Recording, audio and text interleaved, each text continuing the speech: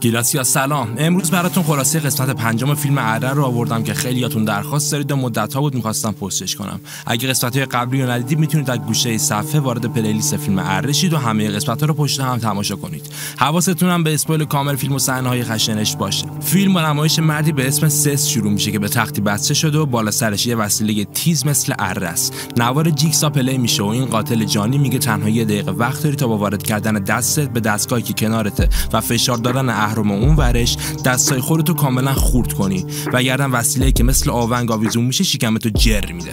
سس که اولش شوکه میشه سعی می‌کنه فرار کنه. اما وقتی راه دیگه این نمی‌بینه دستش وارد دستگاه می‌کنه. قبل از اینکه زمان به پایان برسه بالاخره جفت دستاش کاملا خورد میشن. اما برخلاف تصورش دستگاه متوقف نمیشه و در آخر اون آونگ شکمش کاملا پاره می‌کنه. سس قبل مردن متوجه یه نفر میشه که از پشت دیوار به زل زده و میریم به سکانس اصلی فیلم. کارگاه استرام رو می‌بینیم که آخر قسمت توی اتاق گیر افتاد. همون جایی که جیکسا اصلی کشته شد تا کاراگاه هافمن در رو روی استرام بست تا برای ما فاش کنه که همکار اصلی جیکسا خودش بوده. البته که استرام اون از در نمی‌بینه و هنوز این قضیه اطلاعی نداره. استرام بعد کمی گشتن که در مخفی پیدا می‌کنه و بازش می‌کنه. ضبط صوت اونجا و پلی شدنش صدای جیکسا پخش میشه که به استرام میگه اگه نمی‌خوای جون تو از دست بدی همینجا بمون و ادامه نده. اما کاراگاه میگه فاک یو و راهش رو ادامه میده. همین که وارد راه رو میشه یه دفعه یه نفر با همون ماسک خوک معروف بهش حمله می‌کنه و با باز شدن چشمای استرام می‌بینه که یه جا گیر افتاده و سرش توی دونه جعبه است. از بالای جعبه هم آب شروع به ریختن می‌کنه که قطعا اگه پرشه منجر به خفه شدنش میشه. استرام کمی تقلا می‌کنه اما یه دفعه با استفاده از هوشش خودکار تو بشه رو در میاره و با سوراخ کردن مجاری تنفس خودش موفق میشه جور دیگه تنفس کنه و خفه نشه. اینجاست که مامورای پلیس هم به صحنه جرم می‌رسن. هافمن که حالا می‌دونیم خودش همکار جیکسا همراه با دختر جف که اینجا زندانی شده بود از صحنه خارج میشه. همه فکر می‌کنن هافمن یه قهرمان و اون اعلام می‌کنه غیر ما دوتا هیچ کس زنده نمونده. اما وقتی با استرام روبرو میشه که به شدت زخمیه اما زنده است شوکه شدنش به وضوح معلومه. سکانس بعد جیل تاک رو می‌بینیم. یعنی همسر جان کرمر یا همون جیکسا اصلی که کشته شده بود. وکیل جان به جیل گفته که ارسی براش گذاشته شده و جیل اومده که تحویلش بگیره. جدا از جعبه که دریافت می‌کنه یه فیلم ویدیویی هم هست. جان میگه من خیلی دوستت دارم و این جعبه برای تو خودت می‌دونی که باهاش چیکار کنی. جیل گردنبند خودش رو در میاره که شامل یک کلید و استفاده از اون جعبه رو باز می‌کنه. البته که محتوای جعبه مشخص نمیشه ولی یارتون باشه چون دو قسمت بعدی باهاش کار داریم. دوباره هافمن رو می‌بینیم که جلوی رسانه ها حاضر شده تا مدال قهرمانی بگیره. وقتی به دفتر کارش برمیگرده یه پاکت نامه رو میزشه که اسمش روش نوشتن. وقتی بازش می‌کنه یه نفر براش یادداشتی گذاشته. من می‌دونم تو کی هستی. سکانس بعدی هافمن رو می‌بینیم که به اتاق مدارک ضبط شده پلیس رفته. اونجا موبایل کارگاه استلام رو یواشکی برمیداره و همین لحظه بهش اطلاع میدن که باید به بیمارستان بره چون در مورد کارگاه پرس کارش دارن. پرز رو یادتون باشه چون تو قسمت های قبلی فیلم توسط مجسمه جیکسا به شدت زخمی و کشته شد. تو این قسمت کارش نداریم اما تو قسمت های بعدی دوباره خیلی میادش. توی بیمارستان استرام با هافمن روبرو میشه و بهش میگه تو چه جوری تونستی از اونجا سالم بیای بیرون؟ مشخصه که خیلی به هافمن شک کرده. بعد رفتن هافمن رئیس پلیس اریکسون میاد تو اتاق و به استرام میگه تو از پرونده جیکسا تعلیق شدی چون تنهایی به اونجا رفت جون همه رو به خطر انداختی. دیگه نیا ایستگاه پلیس و فعلا فقط استراحت کن. هافمن رو می‌بینیم که جای دیگه از شهر به یه اتاق میره. اتاقی که پر از مانیتور و توی اونایی یکی دیگه از بازی های جیکسا به نمایش گذاشته شدن. بازی که این بار می‌دونیم کاراگاه هافمن زدنش چون آماندا و جان کریمر کشته شدن. وارد بازی میشیم. آدمایی که بسته شدن کم کم به هوش میان. این قربانیا به اسمای اشلی چارلز لوبا ملیک و برت با وحشت بلند میشن و می‌فهمن گردنشون با زنجیر به یه چیزی وصل شده. تلویزیون روشن میشه و عروسک همیشه یه جیکسا شروع به صحبت می‌کنه. اون میگه شما همتون یه جوری به هم مرتبطید و برای برنده شدن باید ارتباطتون رو بفهمید. برای بازی اولم بهشون میگه که یه کلی جلوتون رو باید از اون برای آزادیتون استفاده کنید. اما هر سری تنها یه نفر می‌تونه از جاش حرکت کنه. در آخرم یه جمله خیلی مهم میگه. غریزه ذاتی شما بهتون میگه یه کاری انجام بدید. اما من دارم میگم خلافش عمل کنید تا زنده بمونید. با فعال شدن تایمر همه متوجه بمبایی میشن که اطراف اتاق و یه تایمر جدای دیگه هم هست که اگه تا 15 دقیقه از اتاق نرم بیرون منفجر میشه. چارلز شروع به صحبت می‌کنه و یه دفعه میگه اشلی تو که با بمب آتیش در ارتباطی کمکمون کن. اشلی تعجب می‌کنه چون هیچ وقت خودش معرفی نکرده بود اما چارلز حتی شغلش هم می‌دونه. وسط این صحبت ها مردی که اسمش ملیکه یه دفعه سعی می‌کنه بره جلو تا کلیدشو برداره اما چارلز با کشیدن سیمی که گردن خودش هم بهش وصله جلوشو می‌گیره و خودش میره جلو و کلید خودشو برمیداره بعد نوبتی شروع می‌کنن. اول لوبا با هر زحمتی هست میره جلو و کلیدو برمیداره برت هم همین کارو می‌کنه. ملیک هم موفق میشه اما قبل اینکه اشلی بتونه بره جلو یه دفعه تایمر به پایان می‌رسه. بقیه بازیکن‌ها همه زنجیر گردنشون باز شده اما یه دفعه همه تیمها با سرعت زیادی به عقب کشیده میشن و اشلی که هنوز زنجیر بهش وصله با فشار سمت تیغ بالا سرش میره و گردنش جدا میشه. سکانس بعد کارآگاه هافمن رو می‌بینیم. هافمن یه مدرکی که مشخص نیست چیه رو توی صندوق ماشین می‌ذاره. با تلفنش به همراه کارآگاه استرام هم زنگ می‌زنه. وقتی کسی جواب نمیده با رئیس پلیس اریکسون تماس می‌گیره و براش پیغام می‌ذاره و میگه من باید راجع به پرونده ها با کارآگاه استرام صحبت کنم و تلفن رو قطع می‌کنه. دلیل این کار رو بعدا می‌فهمیم. حالا کارآگاه استرام رو می‌بینیم که نیمه شب به پاسگاه پلیس رفته و داره از سیستم اطلاعاتی اسم هافمن رو search می‌کنه. سابقه این کارآگاه هیچ چیز خطرناکی نشون نمیده. به جز یک خبر که مربوط به نامی به نام سس بکستر است. بکستر کیه؟ همون مرد بدبختی که اول فیلم دیدیم داشت به قتل می‌رسه استرام که الان باید توی مرخصی باشه سعی می‌کنه قبل اینکه کسی ببینتش از ایستگاه پلیس با اطلاعاتی که پیدا کرده خارج شه. اما رئیس اریکسون یه دفعه میبینتش و عصبانی میشه.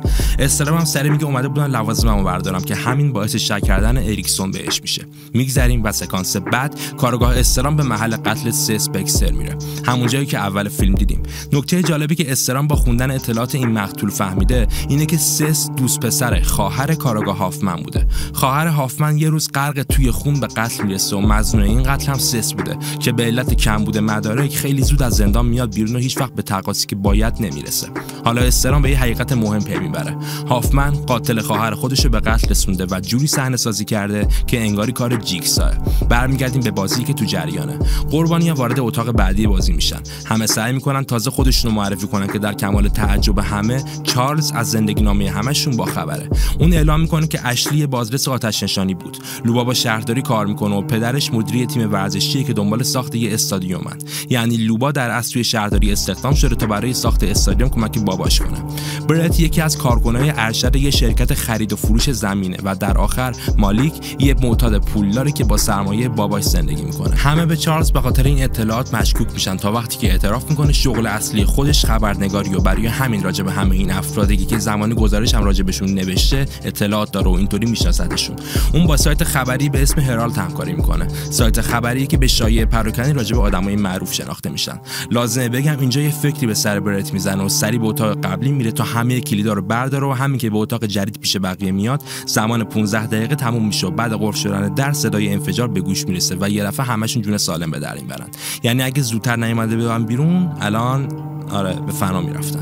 تو اتاق جدید چهار تا دریچه وجود داره و از سقفش کلی ظرف شیشه ای پر از شیشه شکست آویژون شده. آویژون؟ آویژون شده دیگه حتما. صدای جیکسا پخش میشه و متوجه میشن توی سه تا از این شیشه ها کلید سه تا از دریچه ها موجوده. تایمر جدیدی فعال میشه و مالیک سری با استفاده از چوبی که اونجاست شروع به شیکوندن ظرفا می‌کنه. چارلز که یه آدم عصبی و عوضیه از سرعت پایین مالیک لجش می‌گیره و با چوب دیگه بهش ضربه می‌زنه و خودش شیکوندن ظرفای شیشه رو ادامه میده.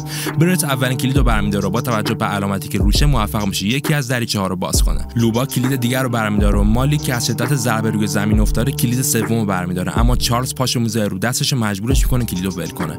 اینجاست که لوبا از عوضی بودن چارلز خسته میشه و با زدن یه ضربه به سرش اونو میندازه زمین. مالیک هم سری کلید سوم برمیداره و توی دریچه سوم میره. قبل اینکه چارلز بتونه به خودش بیاد از جاش بلند شه تایمر اتاق به پایان می‌رسه. یه دفعه آتش زیادی توی اتاق میاد و غیر سه نفره که توی دریچه هان چارلز به چارلز سخاری تبدیل میشه. برمیگردیم پیش استرام. اون در حال بررسی پرونده قتل سس هست که فلش به زمانی که هافمن اون نامه رو روی میزش پیدا کرده بود می‌زنیم. اون به شدت استرس می‌گیره و با کلی تردید سوار آسانسور میشه. آسانسوری که توش کسی نیست جز جان کریمر جیکسای اصلی. یعنی سکانس به زمانی قبل از مردن جان برمیگرده. خیلی قبلتر. جان با یه آمپول به هافمن حمله می‌کنه و وقتی کارگاه چشمش باز میشن خودش بسته شده به یه صندلی با یه شاتگان نشونه گرفته روی سرش می‌بینه. جان شروع به حرف زدن می‌کنه و میگه من می‌دونم تو تله سس بکستر رو ساختی تا ادای منو در بیاری. اما اون تله ضعیف یه توهین به کار من بود. اینجا این نکته دیگه فهمیدیم. صحنه قتل سس که اول فیلم به زمانی خیلی قبلتر از زمان این قسمت برمیگرده. جان با آرومی کنار هافمن میشینه و دستش رو روی ماشه می‌ذاره. هافمن با ترس می‌پرسه چی از جونم می‌خواد که جان یه دفعه ماشه رو فشار میده. هافمن خودش رو قهوه می‌کنه اما می‌فهمه توی تفنگ گلوله نیست. یه بازی ذهنی دیگه از جان کریمر. هافمن میگه من تو دقیقا مثل همین منم یه آدم بعد از زمین حذف کردم. اما جان میگه تو بهش شانس دوباره ندادی. تو فقط می‌خواستی اونو بکشی. اون حتی کارو انجام داد و مرد. فرق من و تو اینه. من به بقیه یه شانس دوباره میدم تا تصمیم بگیرن که یه چیزی رو از دست بدن و زنده بمونن یا اینکه بمیرن. صحبت جان هافمن ادامه پیدا می‌کنه و جان بهش باید از این بعد با من همکاری کنی وگرنه آبرتو می‌برم و رازتو به همه میگم. بعدم تفنگو باز می‌کنه و نشون میده که یه گلوله دیگه توش بوده. یعنی اگه همکاری نمی‌کرد می‌تونست بکشتش. برمیگردیم به زمان حال و تحقیقات کارگاه استرام. اون با کلی پرونده دیگه مربوط به جیکسا می‌خواد از پایگاه پلیس خارج شه که دوباره رئیس اریکسون میبینتش از طرفی پیغام هافمن هم بهش می‌رسه و باهاش تماس می‌گیره. ازش این پرسه راجع به چی می‌خواستی با استرام صحبت کنی؟ که کارگاه هافمن جواب میده. استرام معتقد جیکسای همدست دیگه هم داره که هنوز زنده است و قطعا با پلیس همکاری می‌کنه. اینجا تقریبا نقشه هافمن رو می‌فهمیم. اون می‌خواد یه جوری یواشکی همه چیزو بندازه گردن استرام تا همه توجه پلیس به اون جلب بشه و برن دنبالش. و دیگه هیچ کسی به خودش شک نکنه. اریکسون شکش به استرام بیشتر میشه وقتی به اتاق مدارک میره تا پرونده های جیکسا رو برداره و متوجه میشه هیچ کدوم سر جاشون نیستن تقریبا مطمئن میشه که استرام همون قاتل جدیده. میریم پیش همین بدبخت. اون به صحنه یکی از قتل‌های جیکسا میره. جایی که اگه یادتون باشه یه مرد چاقی قرار بود از لای سیم خاردار بگذره تا خودش آزاد کنه. فلشبک به قدیم می‌زنیم. این مردی که الان به قتل رسیده حال به هم ریخته داره و توی ماشینش رو حتی می‌خواد خودکشی بکنه. یه نفر ماشینش ضربه می‌زنه و مرد با عصبانیت میاد بیرون تا ببینه کی بوده. شخصیت معروف با ماسک خوک پیداش میشه و می‌خواد مرد گولاخو خوبی بیهوش کنه اما اثر دارو کم و موفق نمیشه. دعوای شک می‌گیره و مرد دیگه با ماسک خوک میاد و کمکش می‌کنه تا اونو بیهوش کنن. بعد برداشتن ماسکاشون می‌فهمیم جان و هافمن هستن و این اولین همکاریشون با هم دیگه بوده. نکته دیگه که الان می‌فهمیم اینه که این صحنه مال قسمت اول بود. یعنی صحنه قتل سس حتی به قبل از قسمت اول برمیگرده. خیلی قدیمیه. مال زمانی که تازه جان کارش شروع کرده بوده. در ادامه فیلم یه فلشبک دیگه از همکاری هافمن و جان کریمر می‌بینیم. فلشبکی که به ما نشون میده هافمن توی ساخت بازی قسمت دوم فیلم ارم سهیم بوده. اکثر طلاها و بازیکن‌ها رو خودش به اونجا آورده و حتی با اماندا وانک هم رفیق میشه. میایم به زمان حال و بازی که در جریانه. سه تا بازیکن باقی مونده وارد اتاق بعدی میشن. جایی که یه همون وسطش و دورش چند تا ژنراتور برق. سه دقیقه زمان شروع میشه و اونا می‌فهمن برای باز کردن در بعدی باید جریان برق قوی بسازن که فقط با اتصال هر چهار تا ژنراتور به هم دیگه به وجود میاد. مشکل اینه که سیم ژنراتورها کوتاه و هیچ جوره به هم دیگه نمی‌رسن. لوبا که حالا اونم یه آدم عوضی شده به مالک میگه تو بخواب توی وان تا ما سیما رو به دست و پات وصل کنیم و اینطوری اتصال بین ژنراتورها رو بسازیم و در باز شه. مالک سعی می‌کنه کنار بکشه اما لوبا میگه تو این معتاد به درد نخوری و هیچکی براش مهم نیست که چه بلایی سرت میاد. یه دفعه با یه ضربه مالکو میندازه توی وان تا کارش رو انجام بده. اما برت که حالش دیگه داره عوضی بودن لوبا بد میشه با نوک سیم یکی از ژنراتورها به گردنش ضربه می‌زنه و اونو در جا می‌کشه. بعد با کمک مالک اونو توی وان می‌ذارن و سیما رو بهش وصل می‌کنن. جریان برق اونقدر زیاده که جنازه دختر بارها شوک میگیردش حتی با آتیش گرفتن می‌رسه. اما در آخر در بعدی باز میشه و ازش رد میشن. سکانس بعد رئیس پلیس اریکسون رو می‌بینیم. اون در حال صحبت با همسر جان کریمر مرده همون جیل تاکه. جیل میگه برای چی منو تحت تعقیب قرار دارید. اریکسون میگه ما اصلا همچین کاری نکردیم. جیل میگه چرا من چند بار ماشین کارآگاه استرام رو دیدم که داره تعقیبم می‌کنه. ما می‌دونیم که هافمن با ماشین اون این کارو می‌کرده تا الکی پاپوش براش درست کنه. شک اریکسون حالا به این کارآگاه بیگناه هزار برابر میشه و استرام رو می‌بینیم که محل اتفاق افتادن اره سه رفته. فرشبکی به قبل از شروع بازی های اره سه می‌زنیم. جان قبل از شروع بازی اومدن آماندا به اتاق یه پرونده به هافمن میده. و اون یواشکی از در مخفی اتاق میره بیرون. برمیگردیم به زمان حال. رئیس پلیس بعد از صحبت جیل تاک با نگرانی و عصبانیت داره از ساختمون خارج میشه که تلفنش زنگ می‌خوره و می‌بینه کارآگاه استرام پشت خطه. می‌فهمیم هافمن کمی اون طرفتر اریکسون زیر نظر داره خودش داره با تلفن همراه استرام بهش زنگ می‌زنه. اریکسون سری جواب میده و میگه معلومه کدوم گوریو داری چیکار می‌کنی. اما هافمن سری تلفن رو قطع می‌کنه و با تیشم در میاره. این تماس ضربه آخر رو به اعتماد رئیس پلیس در مورد استرام می‌زنه و حالا به خیال خودش استرام داره یه قتل دیگه انجام میده. اون سری با اف تماس می‌گیره و میگه تلفن استرام رو ردیابی کنید. چون تلفنش خاموشه این کار امکان پذیر نیست. اما میگه تحت نظر بذاریدش تا روشن شد به من خبر بدید. هافمن میره به اتاقی که بازی رو زیر نظر داشت و مرحله آخر رو می‌بینیم. مالیک و برت به عنوان دوتا بازمانده آخر به یه دستگاه عجیب وسط اتاق بعدی می‌رسن. 15 دقیقه وقت دارن و روی دستگاه 5 تا سوراخه. اونا می‌فهمن برای بردن بازی باید یه جوری مخزنی که داخل دستگاه هست رو از یه مایع پر کنن. با دیدن تیغ‌های جلوی هر سوراخ می‌فهمن که باید قسمتی از بدنشون اون تو قرار بدن تا خونشون داخل دستگاه بریزه و با اره بریده بشه و در آخر مخزن رو با خون خودشون پر کنن چیزی که باعث تعجبشون میشه اینه که اگه تنها دو نفر باید به این مرحله می‌رسیدن چرا پس 5 تا سوراخ روی دستگاهه برت یه فکری به سرش می‌زنه و کلیدایی که از اتاق اول آورده بود رو در میاره. با مقایسهشون می‌فهمه همه کلیدا کاملا مثل همن یعنی با یک کلید می‌تونستن همه زنجیرا رو باز کنن. تو اتاق دوم حتی توی هر دریچه برای حداقل دو نفر جا بود. یعنی همشون می‌تونستن نجات پیدا کنن. همینطور توی اتاق سوم کافی بود همشون زنده میموندن تا با دست گرفتن ژنراتورها و گرفتن دست همدیگه هر کدوم یه فشار خیلی کمی از برق رو تحمل کنن و با همدیگه در رو باز کنن و زنده بمونن. و اگه الان همشون به اینجا می‌رسیدن می‌تونستن هر کدوم یه مقدار کمی خون بدن تا مقصد پرشه و با هم نجات پیدا کنن. یعنی تمام مراحل بازی در مورد کار گروهی بود نه اینکه کی از بقیه قوی تره. جمله ای که جیکسا هم گفته بود همین بود. غریزه شما میگه که به فکر خودتون باشید و تکروی کنید اما باید گروهی کار می‌کردید.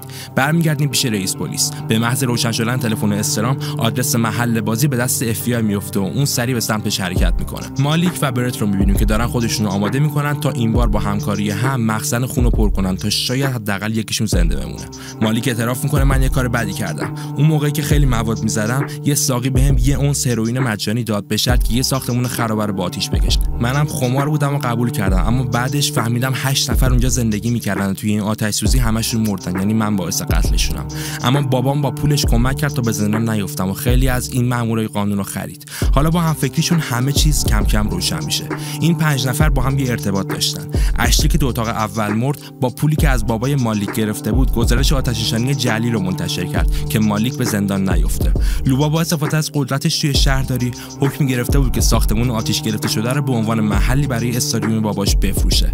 چارلز به عنوان یه خبرنگار از همه اینا خبر داشته. اما به جای افشاسازی و جلوگیری از مرگ اون هشت نفر فقط یه مقاله ساده می نویسه برت هم کسی بوده که تمام این نقشه ها رو ریخته و حتی اون ساقی رو پیدا کرد تا مالیک پیشنهاد انجام این کارو بدن. فقط برای اینکه یه پول خوبی از فروش این ساختمون به دست بیاره. حتی به قیمت جون هشت انسان. حالا کاملا واضحه که چرا این پنج نفر به عنوان قربانی بازی انتخاب شدن. برمیگردیم پیش استرام. اون بعد بررسی همه پرونده ها مطمئن شدن از اینکه هافمن همون جیکسای جدیده اونو تعقیب می‌کنه و وارد یه خونه میشه. از طرف دیگه رئیس پلیس اریکسون به محلی که تلفن استرام توش روشن شده بود یعنی همون ساختمونی که بازی توش تو جریان می‌رسه.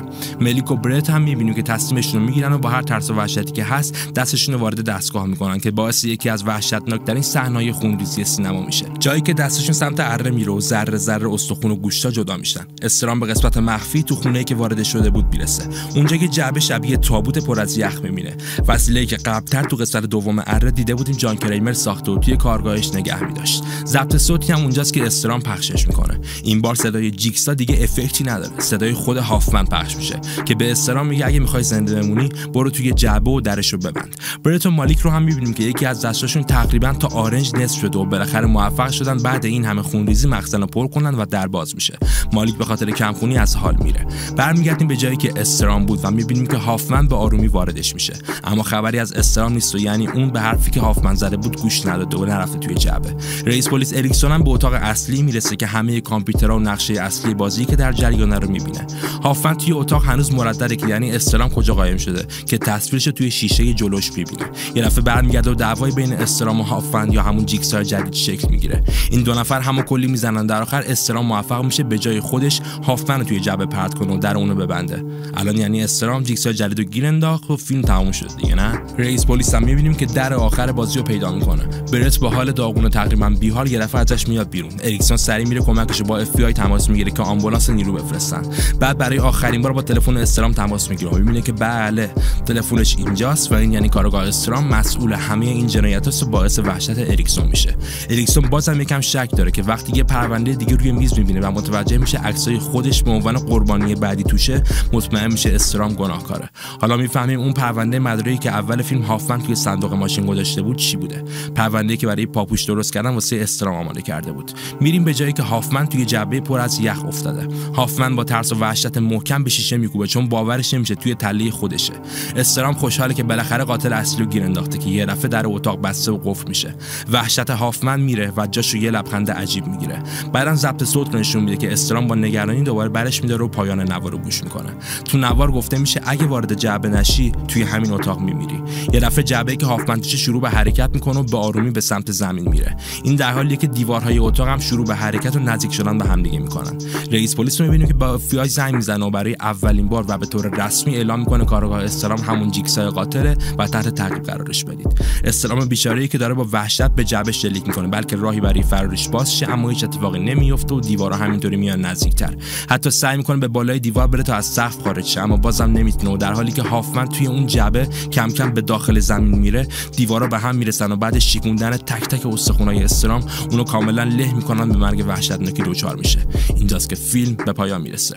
کلا سری فیلم اره هر قسمت یه سری شوک جدید داره که ما بیننده ها رو میخکوب می‌کنه. این قسمت هم از این قضیه مستثنا نیست. برای اینکه ببینیم هافمن چجوری می‌خواد راه جان کریمر رو ادامه بده و از این پاپوشی که ساخته استفاده کنه باید قسمت 6 فیلم رو حتما ببینیم که به زودی توی کانال قرار می‌گیره. پس یادت نره subscribe کنید و زنگوله رو بزنید که به محض آپلود اونو ببینیدش. رفقا لایک کامنت و سابسکرایب نره. روزتون هم گیلسی